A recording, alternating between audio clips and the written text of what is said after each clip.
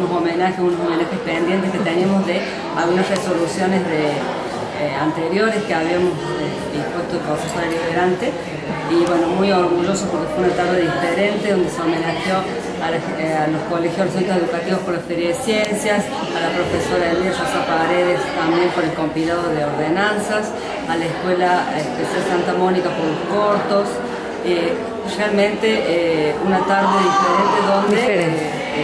Muy emotiva. Muy emotiva, la verdad, muy emotiva. Y reconocer el trabajo ¿no? que realizan las escuelas todo el año. Claro, si bien lo habíamos hecho sobre un papel, nos parecía importante poder entregarles este reconocimiento y darle las gracias por haber participado en nuestra ciudad, porque son niños que el día de mañana van a formar parte, capaz que de un consejo deliberante, y pudieron eh, dar su primer puntapié ¿no? a través de la Feria de Ciencia y a través de estos niños con capacidades diferentes que son como nosotros, ¿no? Empezar a trabajar con esa diversidad. Así Totalmente agradecido. Bien, también se puede observar un cortometraje, ¿no? Hermoso cortometraje de los chicos de la escuela. Un gran trabajo.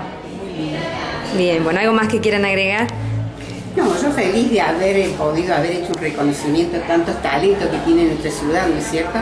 Y poderle reconocer a, a las maestras la calidad educativa que le brindan a los chicos y tanta dedicación.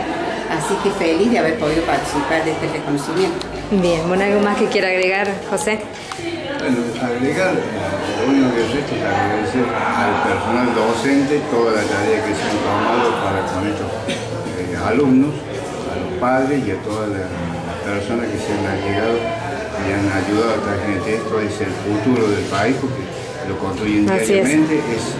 el futuro es hoy, o sea que los niños lo van construyendo día a día y bueno, serán los gobernantes del futuro, serán hombres de empresas y bueno, Muchísimas gracias. gracias